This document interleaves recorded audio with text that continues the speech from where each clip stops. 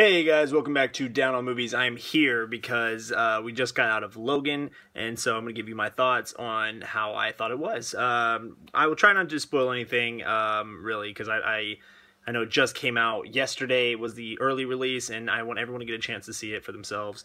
Uh, but before I get started, we went to the Alamo Draft House. They were giving away stuff. Uh, they had comics there. They had Funko Pops and a bunch of cool, awesome stuff.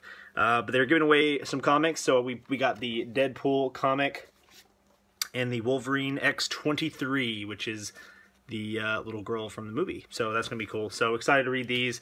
I may do a uh, video talking about them or, or, reviewing them or something like that. But uh, So there is that. So Logan is the final uh, X-Men movie that will uh, have Hugh Jackman playing the Wolverine character.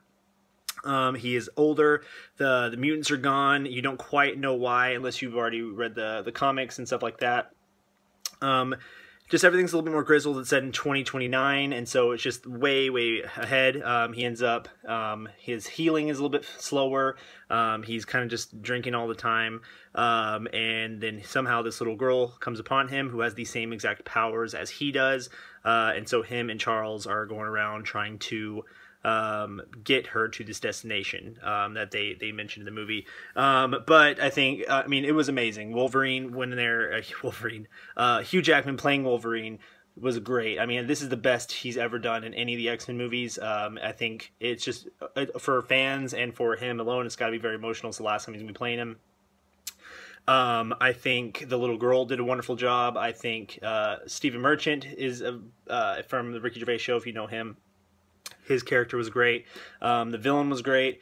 I think oh, the tone of it was awesome. I think the watching just all of this go down, where it's like they're just him going berserk. I think they they needed to do it right, and the fact that they did it right and the movie was actually good is a good indicator that maybe they can they can actually pump out some good movies. I think between Deadpool may have set a tone for something that no one was expecting, and that is just the the R that can actually be good. See, I think it's just it's amazing to me that people think they can pump all this shit out, and it uh, they try to do the studio thing where uh, it's what they want and ends up being a garbage movie because everyone's bickering. And I think if you do what the fans want, you give it what they need, you make a good cohesive story, and it'll be awesome. So I think uh, Wolverine, uh, or I think uh, Logan, was truly a good example of you can make an emotional movie. It can be funny, it can be invested in it, and a lot of us were kids watching it. I think that's why it's it's amazing too because the first one came out in what 2000 so i was like eight or nine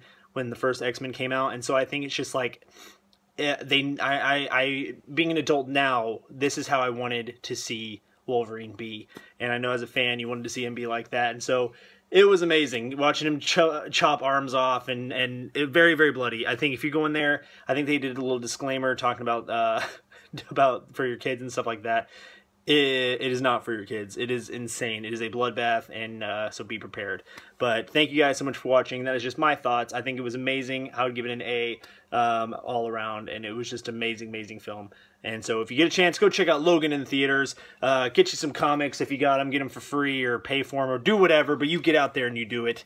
Um, and one other thing is they had a menu for the occasion. So there's the Logan menu. Some amazing stuff there. Uh, and that is it. Thank you guys so much for watching. Make sure you give this video a thumbs up. Comment down below what you thought of Logan if you've already seen it or if you plan on seeing it. Let me know. And we will see each other in the next video. Take it easy, guys.